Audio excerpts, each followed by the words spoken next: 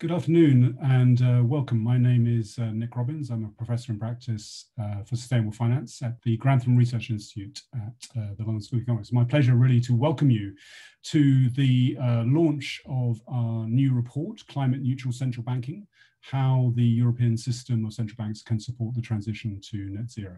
I'm delighted to be a co-author of this report along with Simon Dikau, uh, my colleague at the LSE, and also Uli Volz, who is the uh, director of the SOAS Centre for Sustainable Finance at the University of London.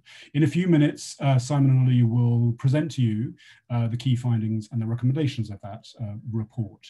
I'm also really pleased uh, to introduce three leaders in climate action and central banking who will give their their views and their, their, their views on the report and the way ahead.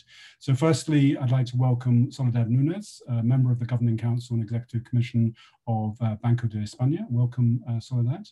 Um, then uh, Dirk Schoenmaker, who is a professor of banking and finance at the Rotterdam School of Management at the Erasmus University, Rotterdam.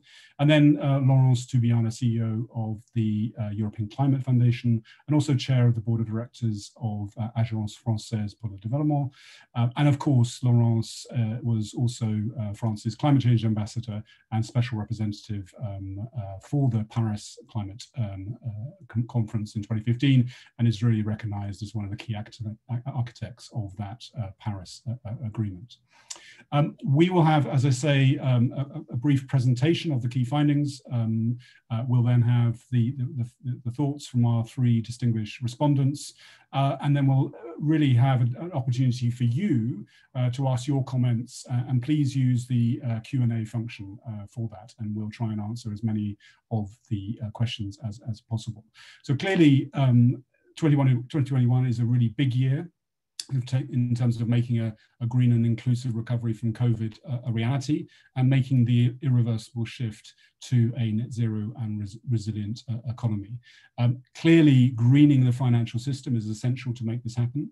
And as well as efforts from banks and investors and insurers and uh, financial consumers and civil society, uh, it's really remarkable, I think, uh, to see the increasing engagement from central banks and supervisors over the last uh, year, really unprecedented uh, engagement, which I think we've seen uh, on display at the recent Green Swan conference. Uh, so I think a remarkable shift we are in a race, race, to net zero and to net zero finance. And our theme for today is how can the central banks uh, within the European Union, the European system of central banks, notably uh, the ECB and also the member state central banks, how can they best support the EU's position of achieving a climate neutral economy by, uh, by mid-century?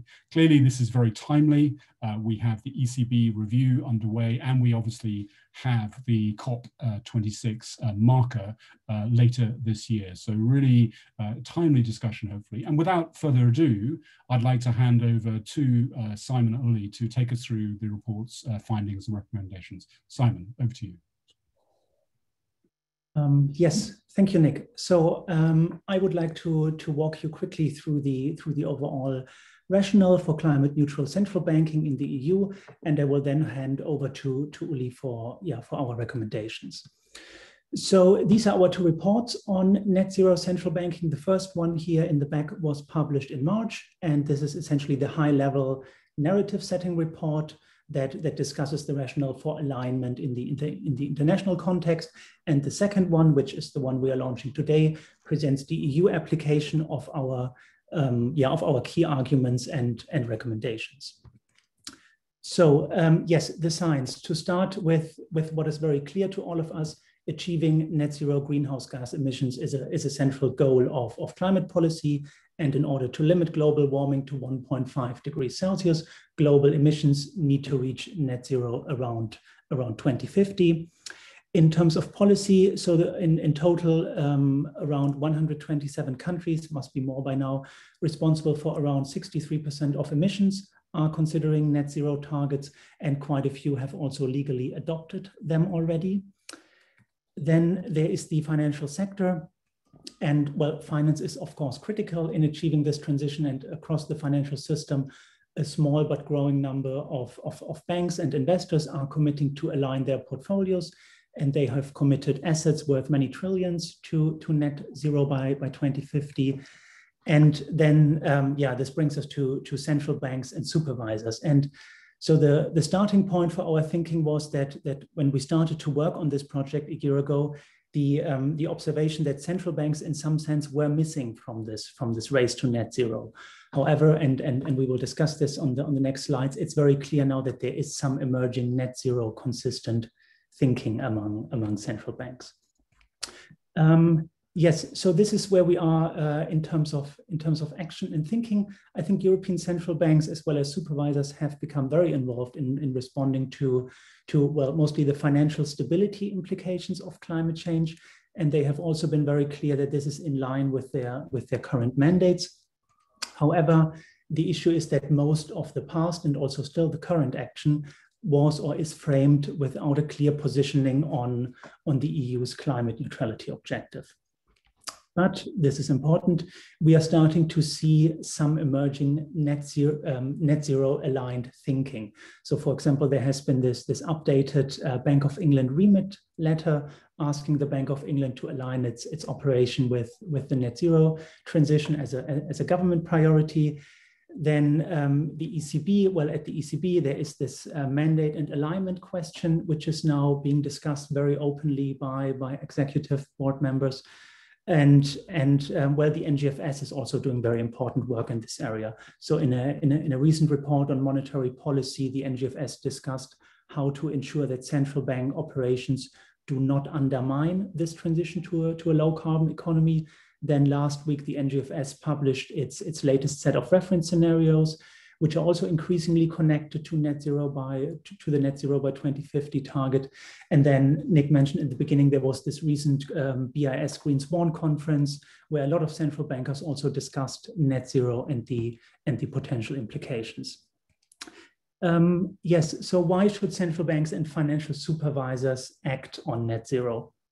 Well, first, macroeconomic and financial stability. So net zero can be seen as the best way of minimizing the risks of climate change to the stability of the financial system and also the um, the macroeconomy. And then we would, yeah, we would argue that that central banks have a role in ensuring that the financial sector aligns with with net zero targets, which would then also accelerate the transition in the real economy and so this is this the essential point here, help to avoid macroeconomic and financial instability in the future.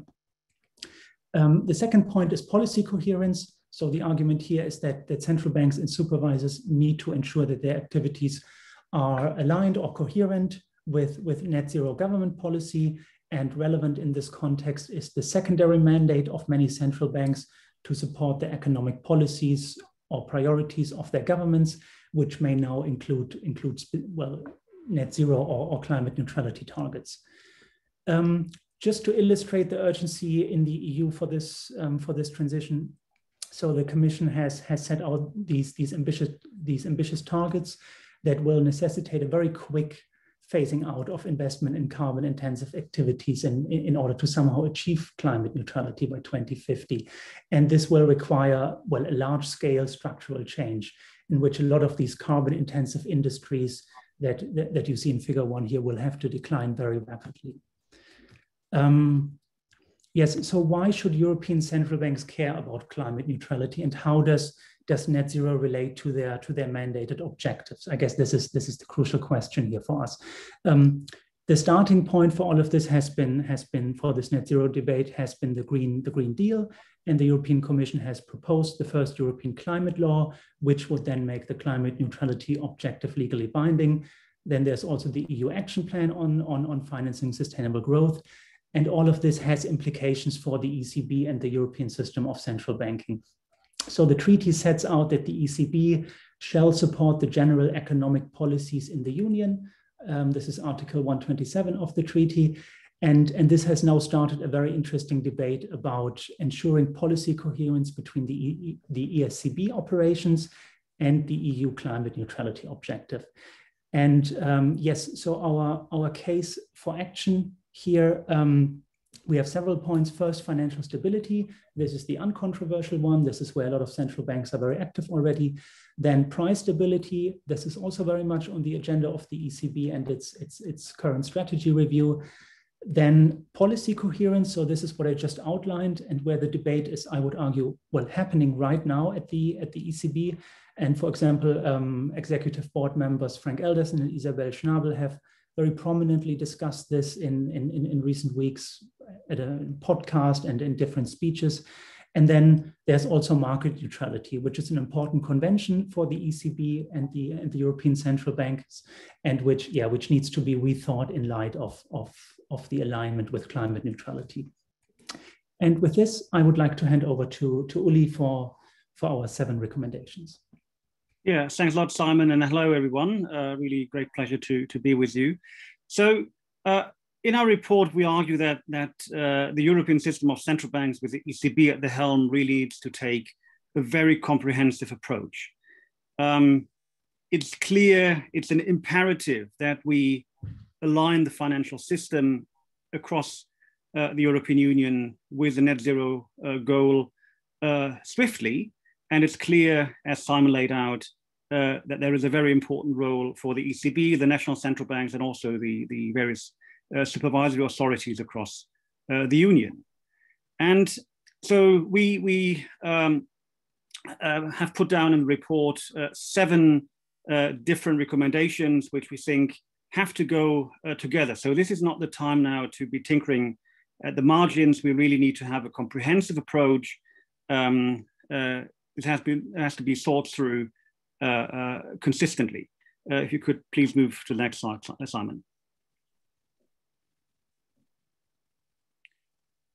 Yeah. Um, if you can click through all, all of them. Uh, so uh, firstly, um, on strategy. Uh, we need to have a high level strategy for the European system of central banks. Um, and they need to develop a climate neutrality roadmap, which really lays out the long-term uh, ambitions of that uh, strategy, but also uh, near-term action. Uh, so that this gives a clear steer for market participants, uh, everyone in the financial system, what to expect. So, so this has to have a guiding function uh, for the entire financial system, but of course also this needs to guide the action of the different institutions in the ESCB and the supervisory world. Um, uh, we also argue that uh, as part of this uh, high-level strategy, the ECB should um, uh, update its mission statement. So many people actually don't probably don't know that the ECB does have a mission statement, but um, we argue that climate neutrality uh, should become part of it because it really is such an important um, element of, of uh, the ECB's mission going forward. the second re recommendation is around prudential policy. So that involves the ECB, but of course also uh, the national central banks to the extent that they uh, are responsible for uh, micro and macroprudential uh, policy, but also the other prudential authorities. Um, and uh, a lot has been uh, done already in terms of analyzing financial stability implications of climate change. Now there's a, a need to really move ahead quickly to, to integrate um, climate neutrality into micro and macroprudential uh, uh, tools and instruments. Um, and one um, uh, uh, very concrete suggestion that we are putting forward in our report is that um, all financial institutions uh, uh, in the European Union should be required to submit net zero transition plans, where they lay out um, how they will um, achieve their own net zero transition. Um, and these can be then also used for, for regulatory uh, micro macroprudential purposes.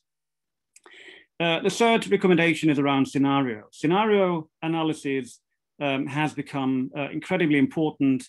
And um, uh, uh, so um, uh, the monetary financial authorities in the European Union should lay out clear scenarios that can be then used by financial institutions and these scenarios uh, should include uh, scenarios that are consistent uh, with a, climate neutral pathway.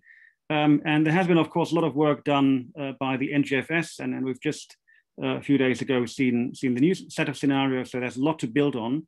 Uh, but that is an important um, area, and, and that, of course, should also be then extended, used for stress testing and so on. Uh, next slide, please. The fourth recommendation about monetary policy. And um, so we argue that the uh, European system of central banks needs to uh, integrate climate neutrality into the monetary frameworks and the models. So the models really need to take that as a baseline uh, assumption and um, uh, the various instruments and, and, and, tools need to be um, aligned uh, with the net zero uh, pathway. Um, and uh, so that would include, for example, um, adjusting uh, um, collateral frameworks, but also, um, very importantly, asset purchase programs. And that does not mean that the ECB has to conduct green QE, but is about excluding uh, um, uh, assets that are not aligned with this transition uh, pathway. And uh, we've seen a lot of movement on this, uh, including the Bundesbank president, uh, who, who's given a noted speech at the Green Swan conference recently. Um, the fifth recommendation is around portfolio management, um, also an area where a lot has been happening. Um, so all the um, central bank portfolios uh, should be uh, uh, managed according to um, responsible investment principles, um, and they should um, indeed adopt a climate neutrality target. and that should then also involve publishing um, how these targets are met. The sixth recommendation may be a bit surprising for some. It is about the role of uh, the European central banks in facilitating a just transition. Um, so central banks are doing a lot of analysis um, of the macroeconomic developments in the union, um, and they also have to analyze um, how um, uh, the transition is impacting um, uh, the, the national and regional economies. And this is really important uh, knowledge that can be put to use also for government policies. Um, so uh, central banks could be um, uh, stress testing, analyzing uh, downside uh, sectoral and regional risks and, and, and uh, uh, feed these information to policymakers. Um, and then last but not least, we argue that there has to be a, a strong international cooperation component. Climate change obviously is a global challenge. Um, and uh, many European central banks have been leaders already um, in this space. Um, and uh, so we need uh, even more cooperation than we, uh, we, have seen so far. Of course, there are different fora, especially the NGFS. Um, but it's important also uh, to, to bring this to the standard setting uh, bodies um, so that the global regulatory framework is being aligned with net zero uh, there's also a very important role for uh, important international organizations such as the International Monetary Fund, uh, which uh, has to safeguard the global financial system. And they're also in the uh, monitoring surveillance function of the, the IMF. Um, this needs to be adjusted. Again, quite a lot is happening now. And given that the Europeans have a strong voice at the fund, they should slow their full weight behind these processes. Um, and I would also like to mention that um, uh, European central banks and also supervisors can play a very important role in supporting uh, their counterparts in uh, uh developing emerging economies, in developing the capacities that, of course, are also now being built up uh, uh, in, in, in, in Europe.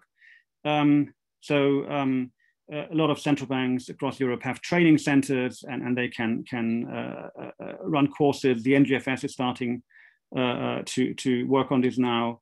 Um, and of course, there's also an important role for academia, if I may add. Um, uh, next slide, you, Simon, please. Could you move on? Thank you. Yes. Yeah. And so now is the time really for implementation. Um, uh, there has been a lot of momentum uh, but uh, this year uh, really should be a year of action. The COP is coming up. so it's, it's really the time to, to um, develop all these strategies and move to implementation very swiftly. And again, this is not, not really optional. Uh, Frank Elderson has put it very nicely. You know, the uh, there is actually um, a mandate uh, for, for, for moving ahead with this. Um, and central banks and also supervisors clearly have a role to play in complementing, catalyzing, and amplifying the net zero policies that the European authorities, the European Parliament, the national governments, and so on have put forward. Uh, so these really are key priorities now. Um, and uh, it's clear that central banks alone will not be able to uh, get us through this transition. But it's also clear that uh, we will not be successful in this transition if central banks and supervisors don't play a leading role in guiding financial markets uh, towards net zero. Uh, with this, let me finish. I'm really looking forward to uh, the comments uh, from our distinguished commentators. Thank you. Wonderful. You. Thanks so much, Simon. Thanks so much, Uli. Lots of uh, good meat there for discussion, and thanks uh, for people already putting uh, questions in the Q&A. Uh, please do send your questions through, and after our respondents, we'll um, we'll start so drawing that in, in, a discussion. So, thanks very much for setting the scene, um, and we're now going to have uh, sort of feedback and, and, and thoughts from um, our three respondents. Solid, um, I, I, may turn to you first to give your sort of high level uh, views on this uh, approach and, and some of the recommendations. So Solid, over to you, please. Okay, thank you. Okay, thank you uh, for inviting me to, to form part of this panel. And here in these five minutes, what I want to make is some general comments. And afterwards, we can, I mean, I can discuss more the, the in more detail the recommendations. And as general comment, uh, well, also I also should say that I am here in my opinions, I my own, it's not Banco de España's opinion. Um, uh, my general assessment of, of the report is a very good one. It's very positive. I think it's very clear. It, uh, explains the reasons why to act in a very clear way and simple, but it's a very complete. The recommendations are uh, very demanding, we have to say, eh? but this is what is needed. Uh, anyway, I have some comments in some of them that, as I said before, uh, but in general, I will support them. Eh? And I would like to make two general remarks that I think that Simon, I mean, uh, have made more clear than they are in the, in the presentation. The first one is that we have to recognize, because I think that we have to be positive when you recommend something and to go ahead, you have to be positive of what has been achieved. Eh? And in this sense, I think that central banks has gone a lot, a, a, a, a, big, a huge way from in the in the recent years. I mean, Nick, probably you remember eh, eh, the G20 Green Finance Study Group and the synthesis report. Central banks were, this is 2016, Central banks were not almost not mentioned. I think that the only mention that was made there was that some kind of role for coordination with other regulators. That, that was all. Eh? And I think that in general, and in particular, uh, European banks have gone from an attitude or position that besides uh, supervision and, and, financial stability, all other things is a matter of the governments, it's a policy thing, and I don't have mandate for that. And they have gone from that to, well, there is an important role for central banks, but we are not the only game in town. This is a very, I think I have seen this change, and this change has been mostly in the last two years. And what, what are the reasons behind this movement? I think that first, because there is a much more decided political commitment through net, uh, net zero, especially in Europe, no? by the Parliament, by the European Commission, and by the uh, Government Council of the, of, of the European of the EU. And also because I think that as we have learned what are the risks, the awareness have increased. So this is also something that is behind this change of attitude. Right? Uh, the, and the third one probably is that they have realized that advocacy is not enough. I mean, just seeing things and they have to act and to act by uh, with a sample, no, lead by lead by example. I think these are three important reasons behind this change of attitude. Also, something that uh, my second general remark is that uh, um, we have to recognize the challenges. I think that the report does not recognize the challenges so much specifically. I think that we have to recognize them. I mean, there is a, a data gap, there are model gaps, there is taxonomy gap, there are many gaps, but as uh, it's very important that, I mean, greening central banks, never, nobody said that it's an easy task, but this, I mean, this, this difficulty shouldn't stop them because no action is worse. Mm. So that's to make it very clear. I think that something that probably the, the report or, or future report, because this is more general, is, um, is, is sometimes mentioned in the, in the report is that we need to know what net zero plan is. I mean, when if we are saying net zero plan for central banks or net zero plan for banks, we we don't know what this exactly is. And if we just use the word net zero, this may be may give room for a lot of greenwashing. So I think it's important to uh, define what is that exactly. Mm. Um, and something I want to say is that there is, I, my, from my point of view, there is one missing recommendation. Maybe it's not so sexy, but it's important. And this is that the, the one regarding physical operations and banknotes production and destruction by central banks. I think, I mean, there are uh, at least the uh, Euro, Eurosystem has some steps towards that. For example, in production, in banknotes production, there is the commitment that for 2023, 100% use of cotton paper now the commitment is 75%, but in 2023 will be 100%. On in relation to waste, there will be the prohibition, I think that starting 2022, I think, more or less, the prohibition of using land landfills for, for, for waste. I mean, they have to go to recycling.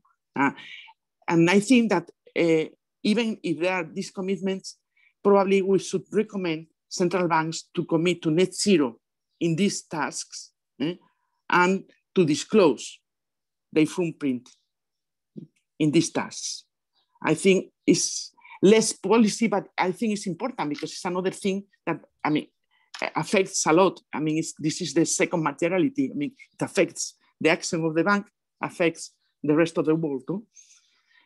And um, I think that I will stop here. I don't know if I have uh, spent all my my time, but let's see for the second round. Thank you very much. Um, I, and, I, and I think really good thoughts, are particularly spot on about this net zero transition plan. So I think that's a really good focus for all, all our attention and uh, always good to have another recommendations, particularly in the financial world and digital financial world, something which is about physical things. So I like that a lot. Uh, so thank you, Soledad, and we look forward to uh, engaging in a discussion. Thanks again for the Q&A. Uh, the questions are piling up, very good. Um, I'd like to turn to you, Laurence, if I may. Um, your thoughts again on the on the report and where this fits in the current, the current moment we're in, uh, in terms of sort of European uh, climate policy. Thank you. Thank you, Nick. And again, congratulations for that report. It's a very timely one because we need really to make concrete uh, this, in a way, the, way to go to the uh, implementation of the net zero goal, which is, of course, the Paris Agreement goal. And that, of course, because the governance uh, system on climate is so distributed, there is no one decision maker, there's many. And uh, if the objective of net zero doesn't um, is not owned by every major decision maker, you cannot implement Paris. So that was very mostly behind the Paris framework uh, in a way elaboration. And, and so it's really important to check that every decision maker owns the net zero and begin to implement it. That said, of course, it's very good that central banks and, and recognizing exactly what Soledad said, the major achievements and in a way the step forward that the central banks in EU have done. Uh, but of course now, and, and the good that the recognition that there are the financial stability objective mandate that's clear, but then there is a secondary mandate on policy coherence and climate, of course, come in. And, and of course, in some jurisdiction, we see that the legal de debate is continuing on whether uh, they can or they cannot have a mandate on climate change. So that's very important to insist and to say there is no other way. And again, following Christine Lagarde's famous work, when she was at IMF, if climate is macro critical, then, then there is a con direct consequences on finance stability as the report is showing. That said, uh, it's the question of the uh, merit order, the link between price stability and the secondary mandate uh, is, is certainly something to dig in more. And, uh, but there is a clear avenue of discussion. And, and again, building on Soledad comment, that will be in a way understanding what the net zero plans are. And my, by the way, it's not only banks or asset owners or asset managers uh, or, or, or, private banks that has to define that. It's a, uh, the, this issue about what is a pathway to a net zero economy is a very, it's a question mark for every business. And then comes what I think I liked in the in the report, the idea that we have to check that and to create some kind of accountability mechanism just to understand how this, this mandate now, this fulfilling this objective can happen. So there is no now few, uh, in a way, few people ignoring that the need to act on climate is urgent. Uh, and at the same time, we, we see central bank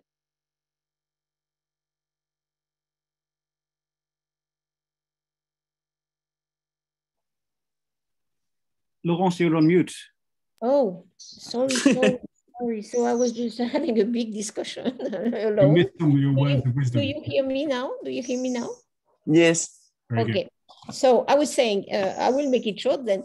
Um, so I was saying that the, the central banks, uh, that this issue about the, the mandate, which is still open, and the report, which is excellent, recognize that discussion it's very good that across the climate, the climate action, again, it's not only government only, meaning the policymakers, but we need really to, to have the net zero concept embedded in every decision maker uh, action and, and strategy. So, so it's really, it's this question of having the net zero everywhere is important. And in a way, it's a condition for central bankers to understand how they can articulate financial stability with a net zero target and the policy coherence, because of course they cannot operate on void. That of course is uh, comes to the my comment that, and I think we can build on the report and develop this even more, that the question about the relation between the price stability, the primary mandate of price stability, uh, is connected to uh, a positive duty to support EU climate goals. And uh, that's part of their policy coherence mandate, and that has to be developed, even if we see that a number of countries and geographies, this is not there. So there is a discussion, even by the way, at the board of ECB as we know it. So because everybody recognizes now mostly that climate action is urgent, uh, central bank are saying finally uh, we, we don't have the data, we, we, we lack quality data in many areas. That's why in my muted comment, I said that we need net zero pathway uh, by 2050 or, or, or soon after or uh, earlier that has across the board uh, asset owners, asset managers, private banks, companies, uh, everybody, and, and of course governments and the, and the policy have to display their net zero. Because if not, of course, I understand the remark of central bankers today to say we, we lack data. That's the other side. But meantime, we cannot just wait to have this existing data because we, in a way, it's it's not the first. It will not be the first occasion where central bankers are making decision under uncertainty. Financial, uh, you don't have really total predictability, of course, on the financial market. So I don't think it's a totally strong excuse. And by the way, uh, it's really important to that central banks that are displaying their uh, macroeconomic modeling, which is of course a key element of reference for many actors uh, just invest in this new type of modeling that integrate the long term. And, and of course, uh, it's not the it's not the way it works now.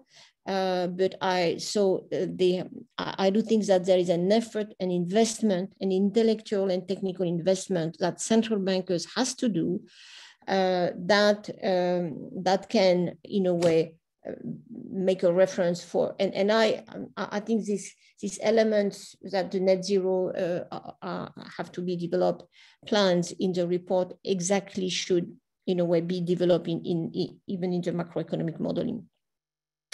I do think that the idea that uh, central banks should be neutral, should merely follow markets and policymakers, really creates a risk of central bank going missing in action. Uh, as, as Christine uh, Lagarde noted at the Green Swan conference uh, some uh, earlier on. And, and I, I, do think this idea that the protection is we don't have the data and we have to be in a way neutral, this finally reinforces the existing situation, this market neutral approach. And that, of course, reinforces the high carbon status quo of financial markets. And this cannot be prolonged. So I think, um, of course, how to do that, it's probably something we, we, we could improve in the following research uh, after this launch uh, more concrete elements. Again, I, I, cited the modeling, the, the investment in new type of modeling that integrate the climate risk and the, and the capacity uh, and all the investment infrastructure that is needed to respond to that. Uh, but in a way, that, that because the role of the of the central bankers in orienting the macroeconomic vision, uh, they I think they, that's part of their duty in a way, even if they, they they operate into, of course, a data set that is not perfect, but they could push everyone to be serious about displaying their scenarios and checking their scenarios. There is one point I like in the report as well, which is uh, you mentioned that very quickly in the presentation, but this is the accountability element. So that there need to be mechanisms that we understand what, what, what it is consistent and, and when really what are the action that makes a mandate consistent with supporting climate policy and, and these net zero scenarios. So um, I, I do think that, of course, central bank supervisor in Europe can require the reporting and disclosure of climate risk data. Of course, that every a lot of discussion on NGFS and again, as Soledad signaling and really recognizing efforts, but we need to do more than that and, and go for again the the idea of what could be a, a financial stable system. Uh, of course, different and there are different economic structures, so I would say are all different, but that will really. Uh, help uh, uh, giving the, the, the, framework. I, I, do think that will this will help as well to fight the, against the net zero greenwashing, which I see uh, a danger really these days, and uh, ensuring that there is, and central bankers, of course, and regulators have a responsibility in a way in this case, not to in a way induce false expectations and to check that in a way and could play a role, not I have not specific ideas, but could play a role in these accountability mechanisms.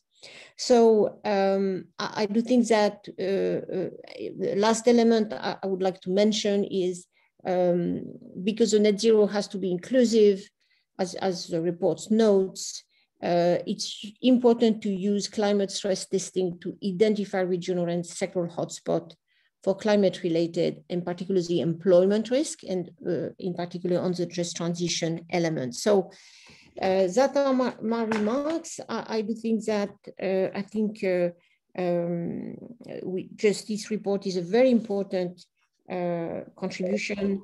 The language of this report, I think, can be uh, um, really adopted by many central bankers, and, and I hope that that will be the development we will, we will see.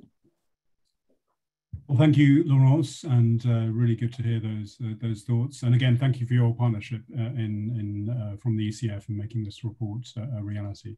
So, Dirk, um, your your thoughts really uh, follow that, as they say. Um, so, Dirk, over to you for your your remarks. Thank you.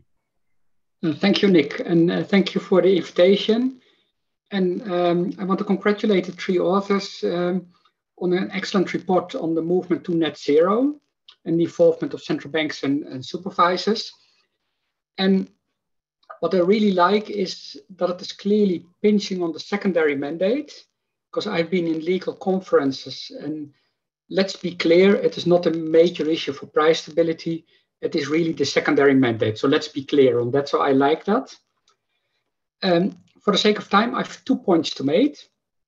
To make, and the first one is uh, which Soledad already mentioned. You have a movement to net zero by 2050. Everybody's making these. China makes it for 2060, 60, and the court in The Hague has said to uh, Shell, nice that you have a target, but your transition plan is not credible. So we tell you to do more. And I think that that's exactly um, summarizing the need. Targets are only useful if we have pathways. And I would, so you build up clean, but you downsize at the same time fossil. You have to do both sides of the coin. And I would say we need annual milestones because most plans have an increase in the next five years and then a decrease. That's not credible at all. So annual milestones for a decreasing starting tomorrow. The good news is the Bloomberg task force and the uh, new IFRS rules will require uh, disclosure. So the actual emissions can be checked.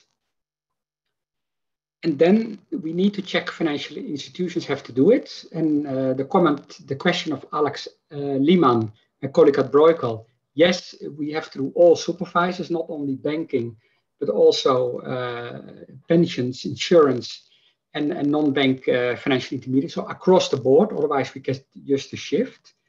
And I have one recommendation for, uh, for Nick, for the LSE. Um, your colleague Simon Dietz is uh, doing the Transition Pathway Initiative. And I would recommend to put the financial sector in as a new one so that you can check whether the financial sector is one and a half degree aligned. That would be really great service if, uh, if that's feasible. Then my second point, um, central banks and supervisors have a, th- uh, a, tendency to think of risk. They're almost trained to be uh, risk averse and that you always see a problem when you walk on the street. And, um, and I think I'm a, a finance person. If we talk about net zero, that means funding moving away from fossil and moving to low carbon technologies. That's an allocation role. That's the primary role of the financial system. So I would say let's be clear about that. Risk is only a tool to avoid unnecessary losses. Um, so this is about allocation. And then how bring your allocation to the central bank mandate. Uh, Nick asked me to be specific. First of all, uh, all economists know that monetary policy is allocational. And at the LSE, I learned from Charles Goodhart that central banks are not for profit. So risk is not a consideration in the monetary policy operations, apart from taking a haircut, of course. So it is allocational. Admit to it and admit that we want to move, allocate to lower carbon. Uh, and then be honest about it, because otherwise we have fussy discussions about risk while we mean allocation.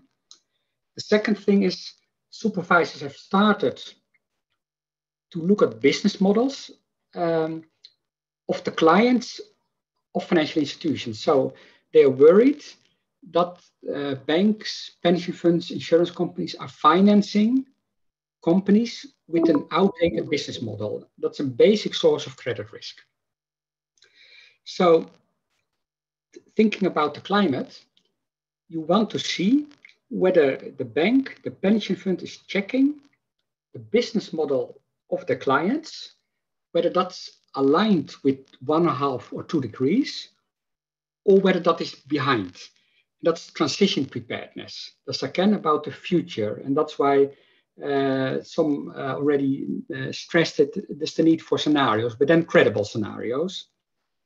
And on that note, I would like to, to ask uh, to finish and that we update ourselves from uh, the risk perspective, which is really scaring everybody and normally it won't put people in action, but try to be positive, and that is also far nicer if you work on it. So I would say let's recognize it as allocational, and let's uh, get on with it with annual milestones to be checked, and not far away plans uh, which are pie in the sky. So uh, let's what the, the court did in The Hague, let's take that serious uh, for ourselves. Thank you.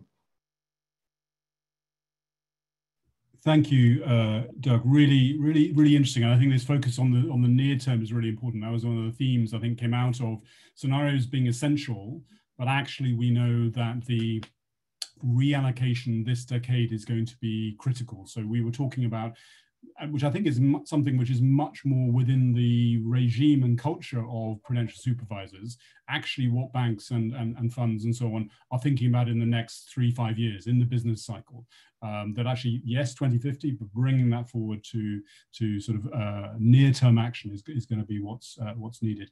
We've got lots of questions. Thank you all for, for those. I think we've sort of touched on a couple of them, the just transition point. I think that was a sort of an, an analytical point that we were trying to make. So thanks, For asking, asking that. Uh, we've got a question in, in from uh, Indonesia as, as well. Um, and also price stability. I think uh, we touched on that a little bit, uh, Laurence. Um, so one of the things that I think is an interesting question, um, the two interesting questions that come through um, from from this. One is actually uh, about actually are there potential downsides um, uh, in terms of um, of this shift to net zero uh, central central banking. Um, so is is there, are there risks in terms of uh, taking this approach? I just wanted to get, I think it's Alex uh, Lehmann's question. So thanks, Alexander. Um, so could net zero and bank supervision be counterproductive? Banks, uh, could they sort of be shifting assets and, and, and so on? So maybe some, just some thoughts on that. We, we don't all have to answer that, but I think that's an interesting one. I mean, we, we all, I suppose, thinking about central bank supervisors, always thinking about unintended consequences. I think there's a consensus this is an important area, but are there any potential unintended consequences? Who would like to take that? We could just have one or two hands for that if anybody has any thoughts. Dirk, thank you. Uh, th thanks, uh, Alex. Um, and it's a great question. I alluded already a little bit at it. I think the Financial Stability Board is quite clearly under Mark and now uh, also under the new leadership, looking at non-bank financial intermediation because risks are shifted to markets and then they are nowhere. So I, I think you're completely right that we have to have a financial system-wide view. I think that's recognized in macroprudential. Whether it is feasible is number two. I see as the main risk that we move too slow because the International Energy Agency said very clearly there is no scope for new exploration of uh, oil and gas. Still, major oil companies are doing that. That's where the risk is, that you uh, have a stranded asset uh, on your balance sheet, not that we move too fast. So I would see the main risk is that you move too slow and that the financial institutions, although they do a bit of clean energy, they didn't downsize the fossil fuel holdings uh, because they just didn't look carefully at it and then uh, kept the, the stranded assets of Ben Caldecott. So I see that as the main risk. Great. Maybe I'd like to add to that, Laurence. Any thoughts on, on this in terms of because I think obviously people do raise these these, these issues. I, uh, I, I totally agree with Dirk. The, the problem is, uh, and that's an argument that comes often. No, if we withdraw too fast from the stranded asset, then we create a, a supply crisis or, or a demand crisis, whatever, depending on how it managed. But anyway, we are losing capital, which is still invested and many represent sometime a major part of the equity uh, or, or is in the portfolio or is in the portfolio of all financial actors, by the way. But if we stick to that, that will be a big, uh, you know, you, you just if you prolong that, at that conservative attitude, then you will have a major shock. Mm. And the shock will be you, you will not be able to respond to that shock. So uh, we have to really repeat that. That's why the elements on the milestone, what are the milestones? Who is doing the job? That is a job where regulators, anyone listening to you, I'm even more convinced that the regulators has to play this role of checking, that, that really we don't go for that risk And I'm very happy of their comment. I, I would just build on that because I do think we, for the moment, there is nobody checking, really. Huh? Mm-hmm. There is nobody checking.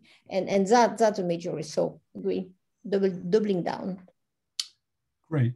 Could I come to you, Soledad? Um, you said you had some further thoughts on specifics, um, and maybe this on this. I also I want to compliment that is really important. I mean, the the one of the biggest downside I see is or risks is uh, developing countries. I mean, mm-hmm. they don't have the the tools, they don't have the funds, so it's absolutely important that the developed world help the developing countries. And I think that's crucial because otherwise, I mean, we will, I mean, this is a global thing. If just one part of the of, of the world doesn't fight against climate change, then we are all of us lost.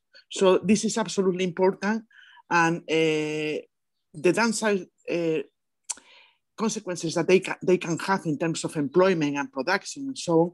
I mean, they, it needs a really international cooperation. Mm. Yeah. It's not so much on central bank and central banks too. I mean, I for for making the role the role, no, and uh, as the the report said and uh, Ulrich said in his presentation, but mostly from from the other uh, from the other part, not not only central banks, but financial international institutions, for instance, has to to help a lot on that. Yeah, no, very good. We got a question in actually from Heru Rayadian from the Bank Indonesia, which is interesting. And I think if we just think about the the challenge, uh, the EU peaked uh, carbon emissions in 1979, and so there's a sort of almost 70 year from from peak uh, to to zero.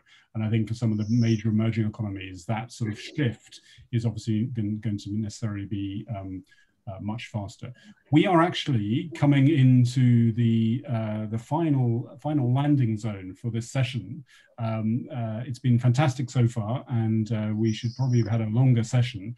So I would like really to be thinking about next steps. Um, that I think we've had some good discussions, some good um, questions, some good uh, pushback, added recommendations. Thank you, Soledad, and, and so on. But really, where do we go from here in this sort of moment, particularly the next six months? If I could start with you, Laurence, because I know you have to head off, I think, uh, in a couple of minutes, but maybe particularly a sort of a, a, couple of action points about where we can achieve sort of sort of practical change, I think, in the in, in the in the coming months. Thank you. Yeah, basically, uh, as Soledad said, it's not easy to know what to do. And, uh, and so taking some examples, digging on uh, on some maybe some case studies of uh, how, uh, a central bank can achieve that and what the tools are needed to, to elaborate on the the you know with a toolkit and and how to do it. As i would like to give a, a, another strong simple message before leaving leaving you. Um, there is of course a big international discussion now that us are coming back to the to, to the table about what would this regulation would look like. Uh, and I, I would like to insist on, we have made a lot of thinking and progress and definition within the EU community in a way.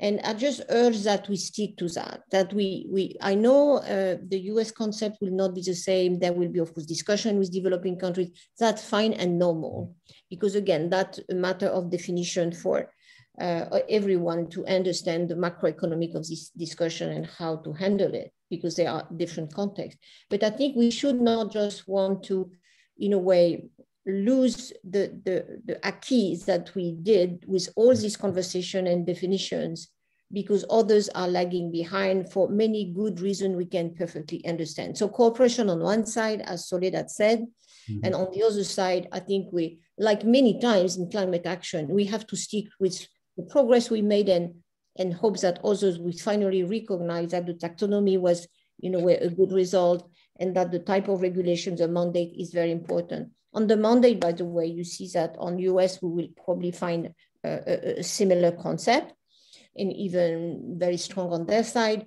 But on, for example, the taxonomy or the type of disclosure, it will not be the same. But I think we should conserve the, the intellectual capital and the political mm. capital we have gained so far. So just wanted to say that I think we should study.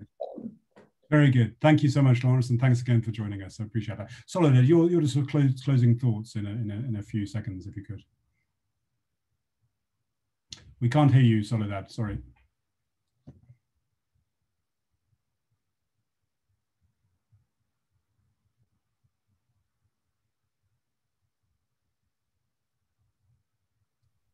Okay. My finger didn't work. Sorry. well, I think that uh, the next steps for the Eurosystem, mostly, uh, I think, is to have a more active role on monetary policy and, uh, and on the, the elaboration of a plan, as the first, uh, the first recommendation says, although I am not so sure it should say so in the mission statement, because I think that the mission statement should include, for, of course, the secondary mandate, the secondary objective that is not there now. And if it does, if it's there, because the, the mission statement is very general. So if it says price stability and the secondary objective, then implicitly all the all this stuff is there. But um, and in terms of that, on the action plan and uh, uh, making more clear what uh, it's gonna do and monetary policy, I am really, uh, I mean, it's, it's a pity that we don't have more time to elaborate that, but I see the movement I mean, among, uh, among governors. I mean, all of them uh, recognize the effects on price stability and balance sheet and transmission of monetary policy and so on.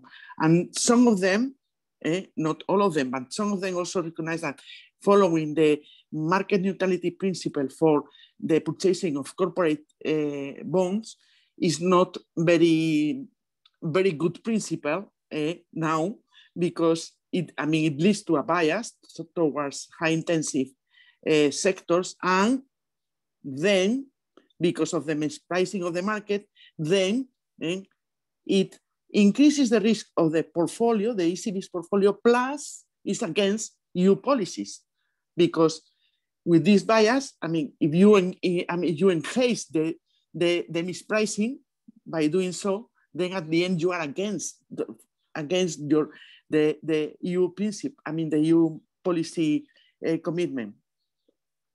But and then I, I am on, on the opinion of uh, that is optimistic of uh, Governor of Bank of France, Villeroy, that said the other day in the Green Swan Summit that he hopes that when the uh, conclusion of the uh, review of the uh, monetary policy strategy comes, comes in fall, and we will see, well, more modeling, more models, more research, which is very important, more transparency, asking uh, uh, our counterparties uh, disclosure, which is a very, a really, really, I think it's a very, very a powerful tool and greening somehow the, uh, the, the purchases. Although this is limited because the, the um, I mean, the purchases are limited in time and in quantity. And it's tricky to do so. Uh, it seems that uh, better than going from uh, to a exclusion uh, uh, way of doing it is better the soil maker way that of tilting it, eh, gradually tilting it. Uh, but I think, I mean, so I, at the end, I am of the opinion that a, a lot will come next fall. Very good, thank you. Um, I apologize. I don't know if I was clear because I, I am in such a hurry to, because yeah. I know that the time is running. Yeah, well, uh, normally we have a guillotine which chops off all our heads on the hour. The guillotine hasn't fallen yet, so maybe um, if I can uh, ask our participants to stay, because I think I'd like us to hear from Dirk and Simon and Uli, then I'll wrap up. If we can maybe just give some closing remarks, but if you could keep it brief, watch out for the guillotine because it may fall. So Dirk, first to you, and then Simon, then Uli, then we'll wrap up. So thank you. Yeah, I will do my, uh, minus one minute. Uh, three items, the climate fund of 100 billion. We have to fill that, and that's uh, solving Soledad's issue because I fully agree with her. If we have solved it, but we didn't solve the developing countries, then we didn't solve anything. So do what we have said. After fall, the European Parliament has approved the ECB strategy, get started in January 2022 with mm. reducing the carbon bias in monetary policy. Don't do further modeling, but just do it. Yeah. And third, mm in the SREP, put the annual milestones for the transition pathways of financial institutions.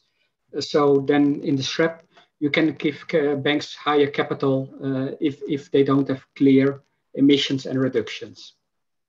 Right.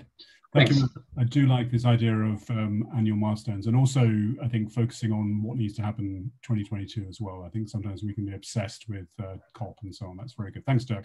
Uli, I'm going to come to you. Um, your, your rapid fire conclusions and what next? Well, I'll just pick up on the developing emerging market world. I think um, clearly we, we need uh, much greater support and of course on the fiscal side, but I also think on the um, uh, analysis side and so on. So, so I think there's a major role for the IMF, World Bank, multilateral development banks, but also uh, really um, uh, kind of peer-to-peer support and, and, and, and, capacity building. And again, I do think actually uh, we also need to need to build capacities in academia in, in, in all these countries uh, that directly feeds into the work uh, of, of central bank supervisors. Thank you. Thank you, Uli, so much. There's a bird singing somewhere. I don't know where it is, but uh, nice to welcome you as well. Um, Simon, over to you. Um, yes, thank you, Nick. Maybe just to pick up also what what Danae, um, Danae's question. Um, yeah, I, I, think it will be very interesting to see where central banks are moving next as, as, as we are increasingly realizing that this is actually quite, quite a big task to achieve this transition by 2050, and that this will bring a huge structural change for the economy. And I mean, historically, to, to, to also bring in Charles Goodhart again, um, we have seen that central banks were always very quick to, to, to, th to throw all their all their all their approaches out of the window once there was a, a, a, huge crisis. So I think that will be very interesting to see whether central banks, once we realize how how big this and and and significant this transition will have to be, whether central banks also um, will will return to a to a much um, more involved approach. Well, thank you all again. Thanks to Laurence in her absence. Again, thanks to the European Climate Foundation for supporting the research that went into this. I think maybe in a in a homage to um, to Laurence, clearly within the Paris Agreement there is the the famous Article 21C, a commitment of governments to make financial flows consistent with low carbon and climate resilient development, and and I think sort of thinking through now, sort of five six years on, uh, the role clearly of finance ministries that was the big cog, cog in the the picture uh, that Simon showed, but also central banks the role in delivering that clear commitment of making financial flows uh, consistent. I think in terms of the international debate we've had, particularly about uh, developing and emerging economies, there are some interesting uh, maybe spillover effects of thinking about a net zero financial system in the EU. If we think about the the, the assets of uh, banks and investors that are headquartered and in, in, the EU, clearly these are these have global implications. These are often global assets and so on. So there will be necessarily um, impl implications, and we need to make sure that these have positive implications for that uh, scale up in capital um, uh, in in developing and emerging economies. So I would like to thank you all. Um, this work will be continuing. Um, we will continue to work on the themes around net zero, climate neutral central banking both in the EU, uh, but also hopefully in, in, in, other parts of the world, in the US, emerging economies, and so on. I'd like to thank our remaining uh, panelists, uh, Soledad Nuñez, uh, Dirk Schoenmaker, my co-authors, Uli Volz and, and Simon Dikau, and thank you all to you for your questions. I hope you found that they, some of them were answered, and uh, let's continue the discussion. So thank you very much. Thank you, and thanks, Nick.